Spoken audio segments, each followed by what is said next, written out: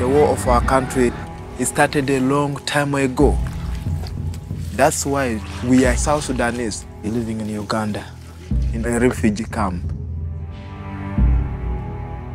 Very many people have been killed. I lost my father. I lost my sister. I lost my brother. It's a painful moment. God decided to leave me so that I bring life back to the South Sudanese. That's why I went for a formation to be evangelizer,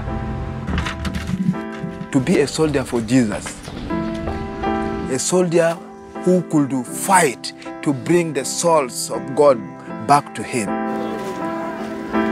Because there's a lot of hatred with the heart of revenge.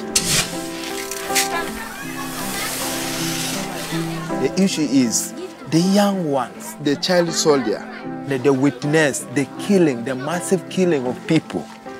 But it is now my role with my brothers, whom I went for a formation, to talk about forgiveness mm. so that we will be able to go to see the kingdom of God. Thanks to you, Aid to the Church in Need for your support. Thanks to you, I'm my catechist, and in these difficult times, I can bring to my people faith, hope, and love. Thanks to you, Aid to the Church in Need.